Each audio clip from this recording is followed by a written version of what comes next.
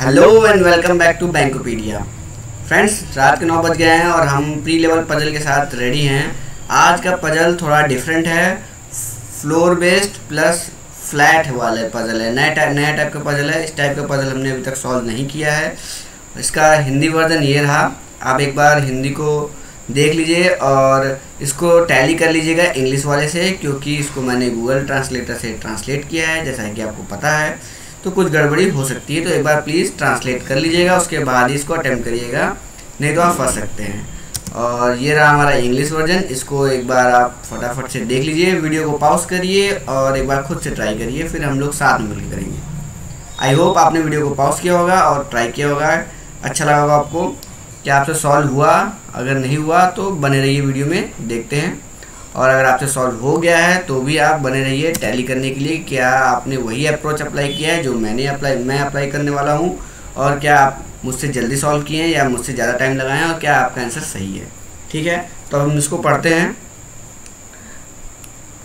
There are ten people A B C D E M N O P and Q who stay on four floors number one two floor of a building चार floor पर रह रहे हैं, दस दस लोग। ठीक है? There are three flats on each of the floor floor out of which two flat are vacant चार फ्लोर है, हर फ्लोर पे तीन फ्लैट है मतलब टोटल ट्वेल्व फ्लैट हो गए। दस लोग हैं तो दो फ्लोर ऑब्वियस है कि वैकेंट रहने वाला है। तो यहाँ पे कहा भी है कि टू फ्लैट्स आर वैकेंट ठीक तो इसको और ऊपर करेंगे और अपना बना लेते हैं एक बार, बनाते हैं, कैसा बनेगा ये? देखिए, चार फ्लोर है floor number four three two one. चार फ्लोर बना लिए। और फ्लैट कैसे होंगे? पढ़ लेते हैं एक बार। The flat are number one two and three on each of the floor and are right to the left of the floor respectively flat number one of floor number two is is exactly above the flat number one of floor number one and so on मतलब flat number one इधर होगा। One two three right में कह रहा है? Left to right है। तो one, two, three ऐसे फ्लैट होंगे। और ये हम अपना दो केस बना लेते हैं। एक तो ये हो गया। एक और केस बना लेते हैं, flat number one, two, three. दो केस हम हमेशा से बनाते हैं, दो तो इस बार भी दो केस बना के चलेंगे। तो ये आपके हो गए तीन फ्लोर। ये आपका हो गया छ फ्लोर। ये आपका हो गया नाइन फ्लोर और ये आपका हो गया ट्वेल्व फ्लोर। बारह फ्लोर हैं, दस पर्सन है, दो फ्लोर वैकेंट होने वाला है। ठीक है, ये हमने बना लिया, आप क्वेश्चंस को पढ़ेंगे और डाटा को नोट करेंगे। है M stay on flat number one of the floor just below the floor on which B stay तो बी जिस भी फ्लोर पे होगा, उसके जस्ट नीचे वाले फ्लोर पे एम आएगा बट फ्लैट नंबर वन पे आएगा। फ्लैट नंबर वन पे इसका फिक्स दिया हुआ है। बी का फ्लैट हमें फिक्स नहीं दिया है बट बी जिस भी फ्लोर पे जाएगा, उसके जस्ट नीचे वाले फ्लोर पे आपका एम आएगा, ये हमें दिया हुआ है। आगे पढ़ते हैं। द फ्लैट नंबर टू और floor number two is empty तो सेकेंड फ्लोर का सेकेंड फ्लैट इम्पटी है। तो सेकेंड फ्लोर का सेकेंड फ्लैट ये हो गया। ये आपका इम्पटी है। दोनों केस में इसको इम्पटी कर देते हैं। ये एम हो गया। अब आगे पढ़ेंगे अब। B stay on flat number two on one of the floor B जो है फ्लैट नंबर टू पे जाएगा, किसी फ्लोर के फ्लैट नंबर टू पे जाएगा। अब ये डाटा मिलते ही, अब देखिए फ्रेंड्स ये डाटा मिलते ही फ्लैट नंबर टू बी का फिक्स हो गया। बी का फ्लैट नंबर टू फिक्स है और उसके जस्ट नीचे वाले फोर फ्लोर पे एम आएगा फ्लैट नंबर वन पे, ठीक? तो बी तो यहाँ आ नहीं सकता फ़र्स्ट फ्लोर पे नहीं आ सकता। थर्ड फ्लोर पे थर्ड फ्लोर पे भी आ सकता है और आपका फ़र्स्ट फ्लोर पे भी आ सकता है। आ सकता है। तो एक बार फ़र्स्ट फ्लोर पे बी को बना देते हैं। बी अगर यहाँ आ गया फोर्थ फ्लोर पे सॉरी बी अगर यहाँ आ गया तो एम को यहाँ आना पड़ेगा इसके जस्ट नीचे वाले फ्लोर पे फ़र्स्ट फ्लैट पे, ठीक है? और सेकंड केस में बी यहाँ आ सकता है और एम आएगा यहाँ पे। आएगा? ये दो केस बन गया, ये इस डाटा को हम रैप कर देते हैं। इस डाटा को हमने यूज़ कर लिया, ये दो फ्लोर हमने दोनों को बिठा दिया बी और एम को।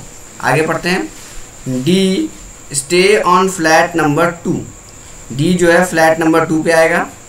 डी आएगा फ्लैट नंबर टू पे। आगे पढ़ेंगे। C stay on flat number three of same floor on which M stay ठीक है? तो सी जो है फ्लैट नंबर थ्री पे जाएगा और सेम फ्लोर जिस पे एम है। एम यहाँ है तो सी कहाँ जाएगा? सी आएगा यहाँ पे। एम यहाँ है तो सी आ जाएगा यहाँ पे। ठीक है?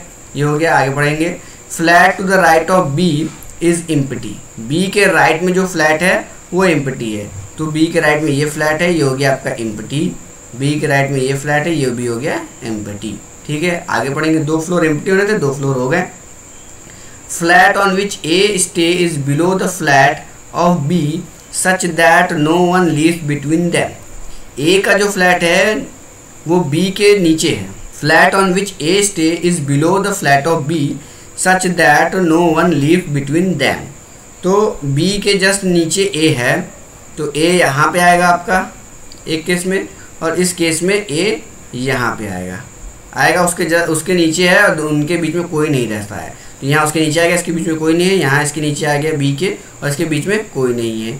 आगे पढ़ेंगे। Flat number three of the floor number four is empty तो फ्लैट नंबर थ्री और फ्लोर नंबर फोर इम्पटी है।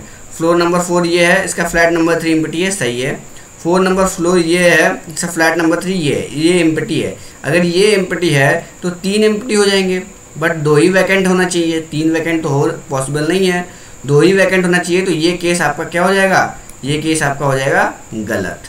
तो ये सिर्फ़ फ़र्स्ट केस जो हमारा है, वही सही रहेगा। सेकंड केस हमारा हो गया गलत। ठीक है, आगे पढ़ेंगे। Q stay on flat to the right of D. Q जो है, Q जो है D के राइट में बैठेगा। अब D का फ्लैट नंबर टू हमें फिक्स दिया हुआ है और फ्लैट नंबर टू सिर्फ़ यही एक बच रहा है। तो यहाँ D को हम बिठा देते हैं और D के राइट में किसको कह रहा है? D के राइट में कौन आएगा? Q आएगा।